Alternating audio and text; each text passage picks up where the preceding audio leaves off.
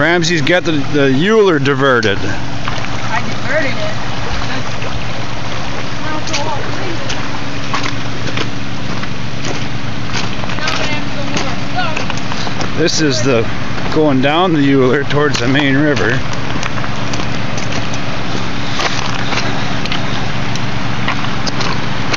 Right across there is our dredge we were dredging. That's Brian over there dredging now.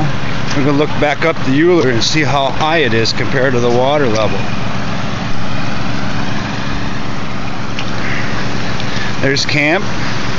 There's our stuff ready to go. And these are the boats we can't use right now because the water's way too low. You can look off in the distance, see the hills.